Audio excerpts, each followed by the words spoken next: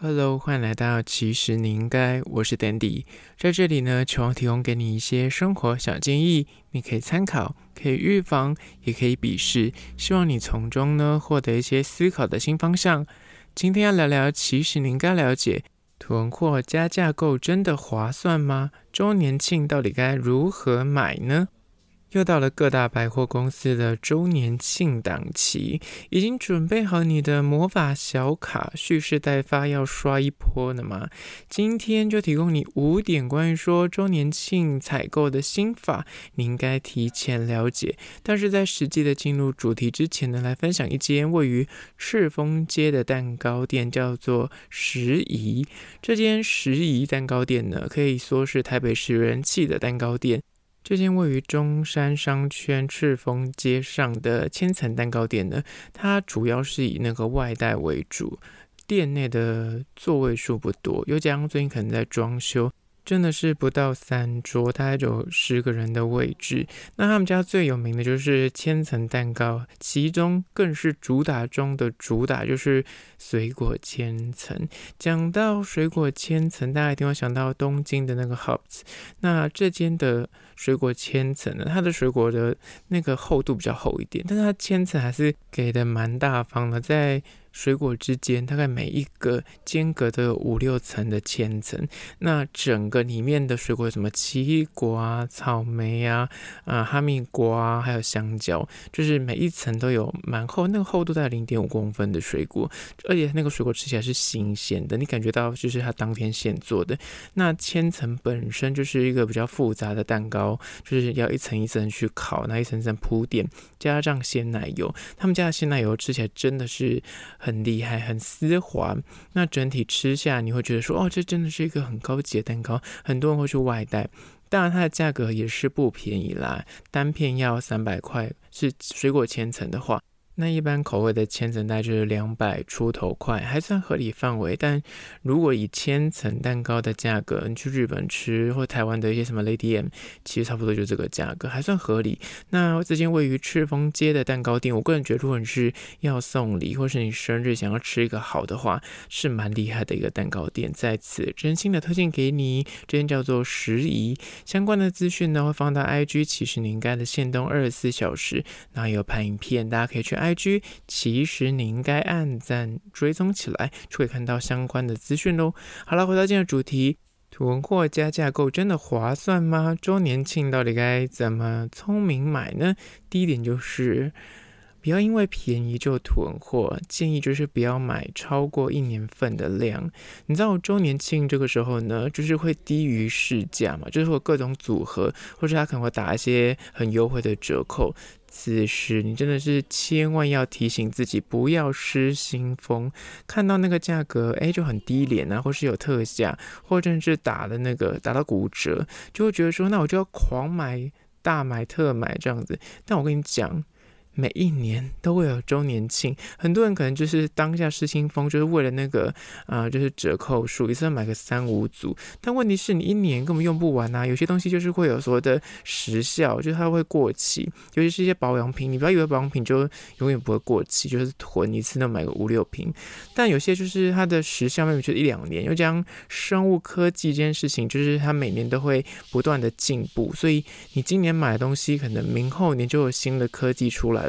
真的是不用囤这么多，即便是同一个品牌、同一个品相，它可能每年都会稍微做一点微调，所以真的不要因为便宜就囤货。建议就是不要买超过一年份的量，比方说精华液啊，或是什么面膜啊，或是什么化妆水。你真的要买，你要囤，就是要囤的话，就囤那个，就是两三瓶，一年之内是可以用完的。那你隔年的周年庆再买新的就好了，不用一次买到五六瓶，然后十瓶这样子，就是可能要两三年才用得完，尤其就会过期。而这是第一点。接下来第二点，关于说囤货加价购真的划算吗？周年庆到底该怎么买呢？就是二。满额赠感觉是有赚头，但是真的不要被骗了。不要因为百货就是会有那种什么满千送百啊，满万送千啊，满两千送两百啊之类的折扣，感觉就买越多省越多，折扣不断的累加，你就觉得说很像就是为了那哎差两三百块就可以再凑个一千，就可以再折一百块，你就不停的在网上那叠加，不停在。想要再多省个一百块两百块，但是这个就是个行销手法，大家都知道嘛。只是说你可能当下买的时候，那个贵哥贵姐就会在突然说：“哎，你再多凑个两百块，凑个五百块，你就可以再满千，就可以再送百喽。”就时常你会被这句话给去吸引住，说：“对呀，我再多凑个两百块，那就省一百块。”哎，就会不断的往上买，然后就不断的囤货。但我跟你讲，就是刚刚讲的，如果你一年之内，用不完这个量，真的不用硬逼自己要去凑那个，为了那一百块在网上就是多花个一两千，不划算。就是告诉自己，我就买我出发之前想要买的东西。那如果有凑到，就是赚到；没有凑到，没关系。像我这次去星光三月，他们现在主打是满两千送两百，我刚好就是凑一凑，大概就是三千出头块。然后他就跟我说：“哎，你要不要再多带一个东西？八百块，你这样就可以再折两百，就是你到四千的门槛就可以再折两百块。”但是我说八百块离那个还有。大段距离，我真的没有必要再囤货，我就说没关系。但是很多人可能就因为那两百块，就为了想说他可以再折抵两百块，那再凑个八百块的东西好了。那等到你再买个东西，可能又一两千块，他又跟你说，哎，你要不要凑六千块，就可以再折两百块哦。它是 non stop，就是永无止境。所以真的不要因为那个满额赠觉得有赚头，就无止境的往上买上去。说实在的，你每年都会有这个优惠，每年都会有周年庆，而且有时候他们不定期什么母亲节、父亲节。也会有一些档期，所以不用真的等待这个时候一定要大买特买，就是你可以等明年。所以这是第二点，不用满额赠的时候觉得有赚头，就想要去凑那个满千送百或满万送千的零头，真的是没有必要。接下第三点，关于说囤货加价购真的划算吗？周年庆到底该如何聪明买呢？就是三，跟贵哥贵姐混熟一点，可以获取一些内线的消息。就是如果你本身对于某个品牌的化妆品啊，或是你某个品牌的衣服啊、包包你很喜欢的话，我建议是不妨就是在同一个百货、同一个贵哥贵姐，跟他长期玩诺，跟他长期消费，久了之后，因为你是老客户，你是常客，你就可以基于一个老客户的经营之道，他就会比较希望，哎，你就可以常回流来买。他有些促销啊，或是一些周年庆的档期，他就会。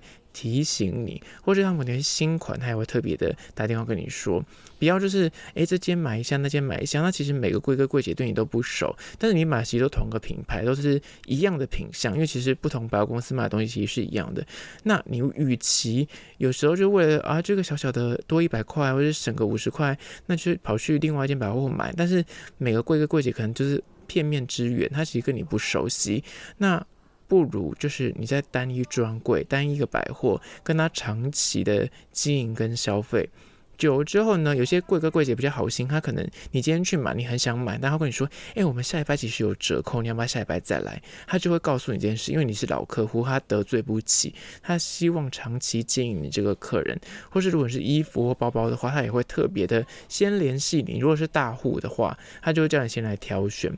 就像是什么爱马仕也是，就是他们有些都需要配货，那你比如长期配货的话，你就得要在同一家同一个柜哥柜姐上呃累积点数，不要就是诶贝拉比塔买一下，然后星光三月买一下这样子，那其实就会蛮可惜的，无法累积消费，然后让那个贵哥贵姐对你更有印象。那这样他有第一手消息或一些好康优惠资讯，也会提前的告诉你。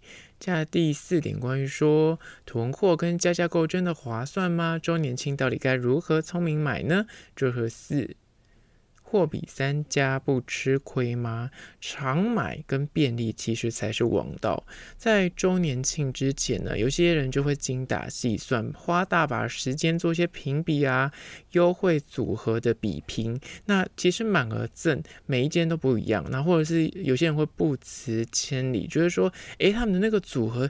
多送了一瓶小小的精华液，或者多送了几片面膜，然后就在那边一直研究。跟这间百货可能是满两千送两百，那间百货是买一千送一百，感觉比较划算点。那他就是不辞辛劳，然后就是坐车去那边，然后可能 maybe 很远，那他搭检车，或是他坐捷运坐超久。那可能你在做这些比价功课啊，跟你花的时间成本，还有交通的啊车费啊，或是你搭交通也是要时间嘛，这些加总起来，说不定你就赚了一百块。但是实际上你可能车费坐电车来回就两三百块去了，所以根本没有比较划算。所以与其在那边货比三家，当然货比三家是好事，但是我觉得大概看一下，都在家里附近可以做个比价。但是如果你可能要杀去什么桃园，你是台北人啊，杀去桃园，或是你在台中，你可能要杀去台南，就是很远的这种百货的话，或是为了一两百块的那个满额赠啊，或是一些小赠品的话，那真的是没有必要。所以货比三家不吃亏的前提是，你要算一下你的时间成本跟它是不是符合经济效益。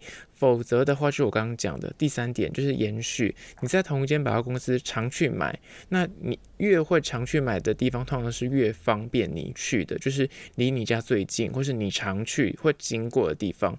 那其实就在那买就好，你就可以累积你的诶那个印象深刻度，或者是你就变成老客户之后，比较容易会获得一些优惠的资讯，然后也不用就是花这么多时间在货比三家，因为其实每间百货其实就 potato potato。就是没差多少，只是组合的东西不太一样而已。那这是第四点。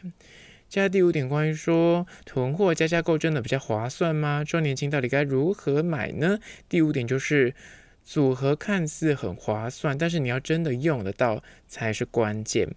不需要的东西，真的送你再多都是枉然。那个什么赠品价值，他都告诉你说你的正货，就是你那瓶正货可能一千块，那他那个赠品也就是高达人民币三五百块。但问题是，那个赠品你根本压根不会用到的话，那根本也没有必要为了那个赠品拿大老远去拿那个东西，或者你觉得，诶，那个人像值三五百块，感觉很划算，就硬要去拿那个赠品。没有必要，用不到的东西你拿回家也是积灰尘，而且有些你知道什么送行李箱啊、送包包，那个很难丢。